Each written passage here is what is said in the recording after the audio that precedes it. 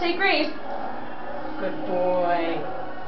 Dear Lord, thank you for this wonderful meal that you've provided me. Thank you for all of my furry friends that I've met here at Canine Campus. And please watch over Mommy while she travels back from Orlando tomorrow. Amen.